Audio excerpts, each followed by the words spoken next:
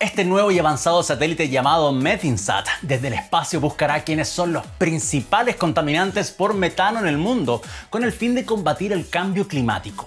Esto considerando que el metano generado por el humano es responsable del 30% del calentamiento global. El satélite y todo el proyecto es realizado en conjunto de distintas organizaciones privadas, académicas y sin fines de lucro, destacando el Fondo de Defensa Ambiental y recientemente a Google.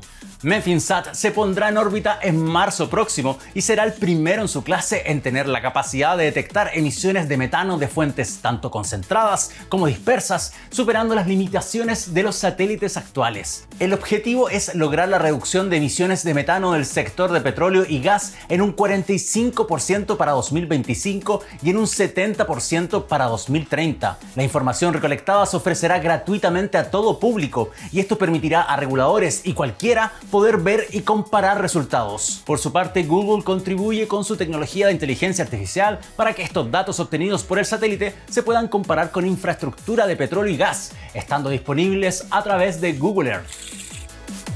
Si te interesan más noticias científicas como esta, visita nuestra web ohmygeek.net por artículos diarios. Yo soy Felipe Valle y nos vemos próximamente en un nuevo Express. Chao.